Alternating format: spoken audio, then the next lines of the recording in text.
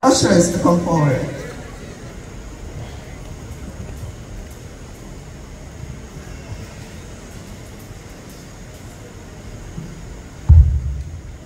And we're going to ask you to give generously.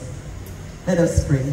Most righteous, eternal, heavenly Father, tonight as we come to listen to the dropping of your word, we ask that whatever we collect tonight, oh Father, it will go towards the furtherance of the gospel, so that men and women will be able to be saved, that when you shall come, oh God, everyone that give generously will be saved. In Jesus' name I pray. Amen. Give it with love. Story above.